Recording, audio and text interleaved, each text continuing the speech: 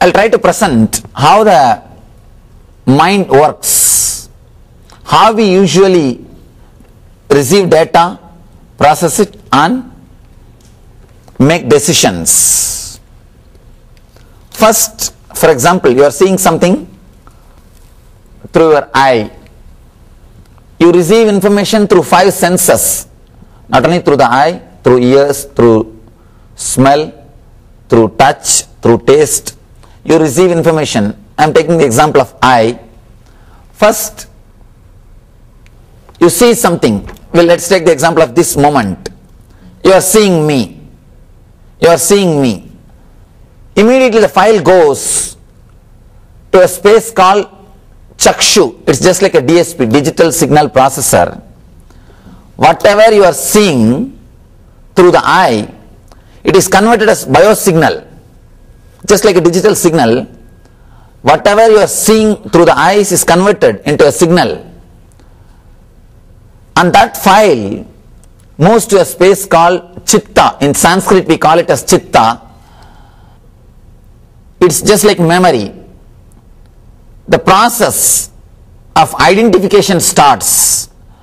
For example, if you are seeing me, seeing this scene, the whole file goes to DSP, Chakshu. The DSP, the whole file is converted into a biosignal file. It moves to chitta, memory. In memory, your uh, memory starts analyzing. This is not this, this is not this, this is not this. The elimination process happens in memory. First, your chitta says, your memory says, this is not a stone, this is not a tree, this is not an animal. The process of elimination happens in memory. Next, this is it. The identification happens in mind, manas. In mind, you start identifying this is a human being. He is here to give a lecture. He is a yoga teacher. You start identifying. Then the file goes, file moves to the space what I call ego, the decision making. In ego, you start thinking, what way I am connected to this person or this situation. If your past experiences with other yoga teachers, if it is nice, beautiful, you decide to sit and listen.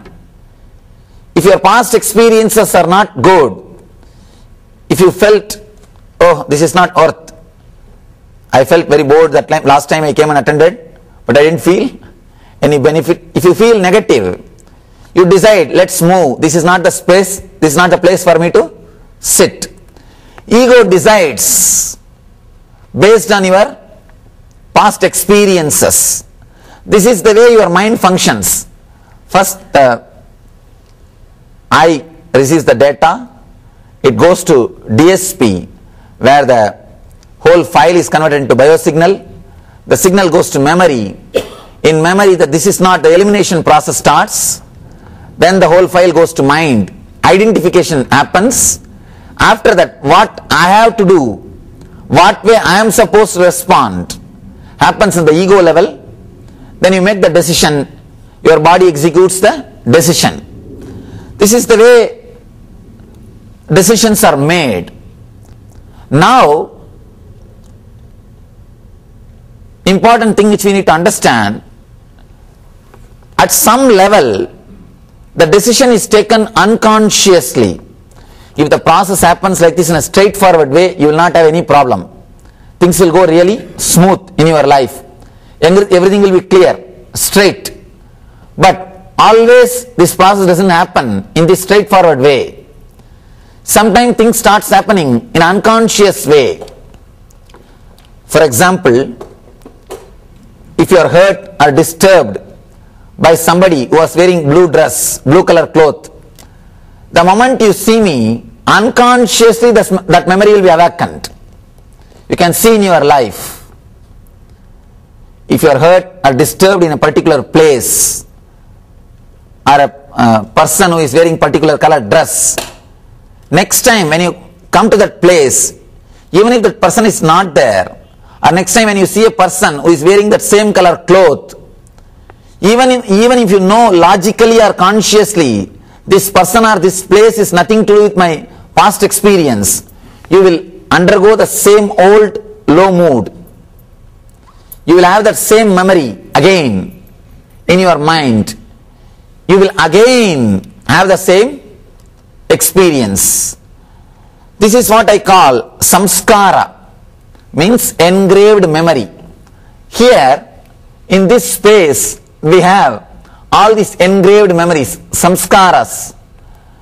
These engraved memories distort or disturb your decision making capacity. See, logically, sometime the whole process, actually, this process is logical, which happens consciously, straightforward process. From eye to mind, it's a straightforward process. It is just logical process. This is the space where politics happens. This is the space where politics happens.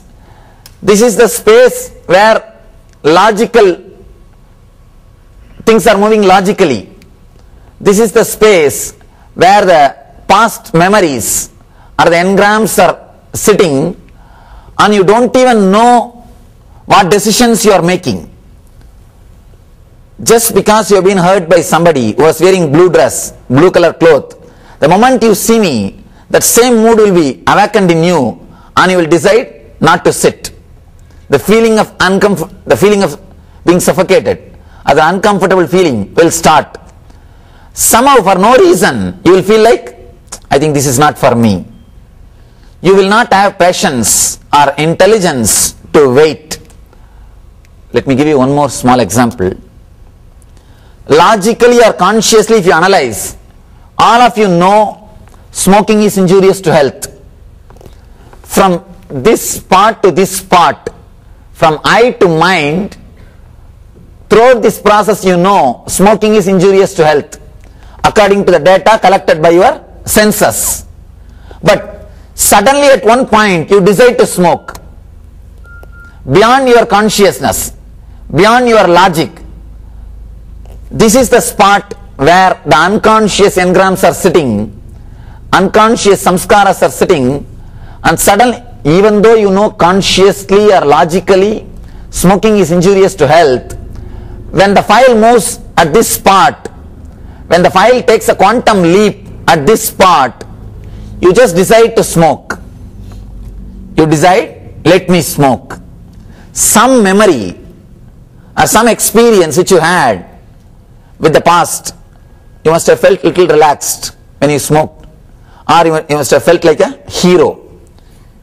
You must have felt little you are doing something which you wanted to do. Some satisfaction, some engram is associated with that smoking habit. So suddenly, because of these engrams, you decide to smoke even if you know consciously the smoking is injurious to your health. Same way, many times in your life, even if you know consciously what is right, simply unconsciously you decide because of the engrams. Your life is under the control of unconscious engrams. It is not under your control.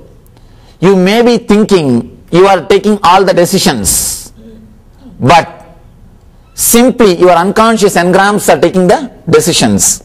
The other day I went to one of my friend's house. There I saw a beautiful one-liner in the living room. I am the boss of this house. I have my wife's permission to say so.